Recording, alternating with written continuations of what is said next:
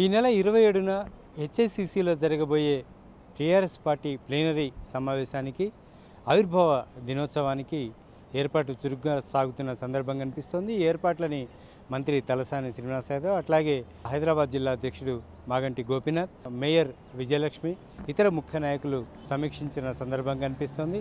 ఏర్పాట్ల గురించి కానీ నగర అలంకరణ గురించి కానీ ఈ సమావేశానికి వస్తున్న అతిథులకు కల్పించే ఏర్పాట్ల గురించి కానీ అసలు రాజీ పడే ప్రసక్తే ఉండకూడదనే అంశాన్ని ఇటు మంత్రి తలసాని శ్రీనివాస్ యాదవ్ చెప్పుకొస్తున్న పరిస్థితి కనిపిస్తోంది. ఎవరైతే అతిథులు ఉంటారో వాళ్ళందరికీ కూడా స్వాగత ఏర్పాట్లు ఘనంగా నిర్వహించాలి వసతి సౌకర్యాలు కల్పించాలి. ఇవన్నీ అంశాలు నగర అలంకరణ ఏ విధంగా ఉండాలి భోజనాలు ఏ విధంగా ఉండాలి ఈ అంశాలన్నీ కూడా ఈరోజు ఒక సమీక్ష సమావేశం నిర్వహించుకున్న సందర్భం కనిపిస్తోంది. ఇక వీటితో పాటు ఏదైతే ఇటీవల చోటు చేసుకున్న రాజకీయ పరిణామాల గురించి కూడా తలసాని శ్రీనివాస్ యాదవ్ స్పందించిన సందర్భం కనిపిస్తుంది. ఇదే హెచ్ఐసిసిలో తలసాని శ్రీనివాస్ యాదవ్ ఇటు ప్లీనరీ గురించి అట్లాగే ఇటు రాజకీయ పరిణామాల గురించి మీడియాతో అడ్రస్ చేస్తున్న సందర్భం కనిపిస్తోంది. ఒకసారి చూద్దాం. ఈరోజు మరి రాష్ట్రంలో కొన్ని కుక్కలు పోవు అంటేనే అంటూనే ఉన్నాయి. రోజు మనం చూస్తూనే ఉన్నాం.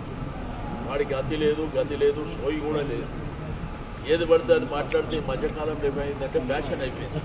అంటే సోషల్ మీడియాలో కానీ టీవీలో పేపర్లో అనరాని బూతులు మాట్లాడితే అనరాని మాటలు మాట్లాడితే అది ఇరవై నాలుగు గంటలు తిరుగుతుంది అనేటువంటి ఆ ఫ్యాషన్లో కొంతమంది రాజకీయ నాయకులు పోతున్నారు బట్ ప్రజలన్నీ ఇవన్నీ వాచ్ చేస్తున్నటువంటి కూడా మనం చూస్తూ ఉన్నాం.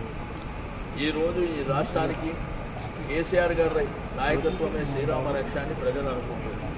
ఈ గులాబీ జెండా తెలంగాణ ప్రజలేదని చెప్పి ప్రజలు భావిస్తున్నారు. ఒక టీఆర్ఎస్ పార్టీదే కాకుండా ప్రజలు కూడా ఈ గులాబీ జెండా అయితేనే మాకు మంచి జరుగుతుంది. ఈ గులాబీ జెండా నీడ ఉంటేనే మాకు మంచి జరుగుతుంది అనేటువంటి భావంలో ప్రజలు ఉన్నట్టు ఈరోజు గ్రామీణ ఆర్థిక వ్యవస్థ బలోపేతం కావాలంటే కులవృత్తులను కూడా మరి పెద్ద ఎత్తున ప్రోత్సహిస్తున్నటువంటి ప్రభుత్వం. ఇన్ని కార్యక్రమాలు పెట్టుకొని తాడు లేదు బొంగురం లేనివాడు వచ్చి ఏదేదో మాట్లాడుతాం ఎవడు ఏకాన తెచ్చింది లేదు ఏకాన కార్యక్రమం చేసింది లేదు.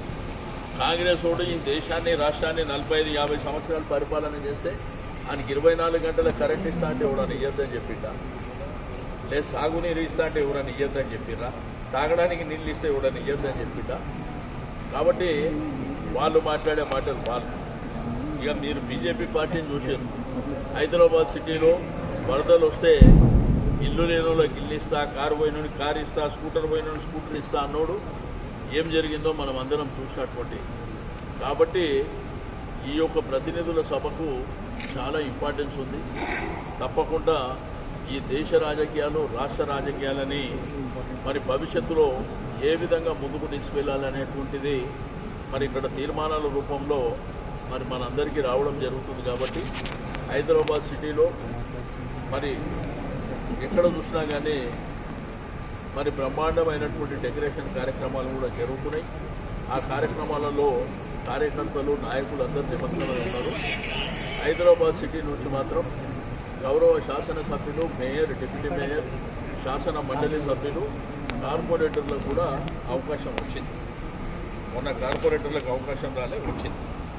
ఆల్రెడీ వాళ్ళకు కూడా పాసులు పంపించేసారు కాబట్టి వాళ్ళు కూడా ఇన్వైటీస్ అని చెప్పి నేను ఈ సందర్భంగా తెలియజేస్తాను. అది తెలంగాణ ప్రజలందరూ కూడా కేసీఆర్ పాలన కేసీఆర్ సంక్షేమ పథకాల గురించి చర్చించుకున్న సందర్భంలో కొందరు ప్రతిపక్ష నాయకులు అనుచిత వ్యాఖ్యలు చేస్తున్నారు ప్రభుత్వం పట్ల అనే అంశాన్ని తలసాని శ్రీనివాస్ యాదవ్ చెప్పుకొస్తున్న పరిస్థితి కనిపిస్తుంది. ఖచ్చితంగా టీఏ టీఆర్ఎస్ పార్టీ కానీ ముఖ్యమంత్రి కేసీఆర్ కానీ చేస్తున్న అభివృద్ధి పనులు మరే ప్రభుత్వం చేయదు చేయబోదు అనే అంశాన్ని కూడా ఆయన చెప్పుకొస్తున్న పరిస్థితి కనిపిస్తుంది. ఇక టీఆర్ఎస్ పార్టీ వ్యవస్థాపక దినోత్సవం గురించి స్పందిస్తూ కనీవినిగా రీతిలో ఈ వ్యవస్థాపక దినోత్సవ వేడుకలు ఉంటాయనే అంశాన్ని ఇటు తలసాని చెప్పుకొచ్చిన పరిస్థితి కనిపిస్తోంది. Camera person Rajat Harikrishna వనిండే Telugu Hyderabad.